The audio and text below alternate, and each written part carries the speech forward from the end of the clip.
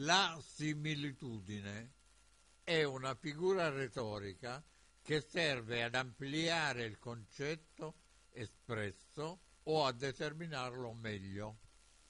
Consiste nell'accostare all'idea che si esprime un altro pensiero o un'altra idea che si ritiene meglio conosciuta all'ascoltatore.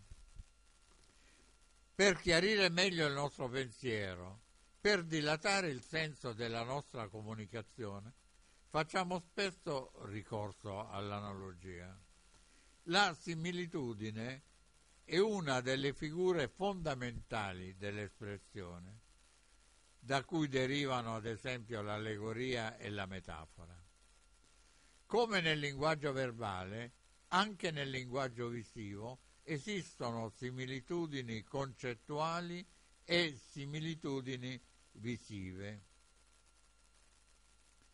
È concettuale la somiglianza tra lo sfondo fiorito e la bella rosina di Vierza. La similitudine si può istituire quasi esclusivamente tra due realtà visibili, quindi tra oggetti reali. Quanto ai procedimenti che rendono possibile realizzare una similitudine, dobbiamo sottolineare come molte di esse nascono dalla osservazione attenta della realtà, che naturalmente offre occasioni. È basata proprio sul senso dell'insolito che nasce da accostamenti riusciti. Vedi il ciclope di Redon. Altre volte la similitudine è prefabbricata.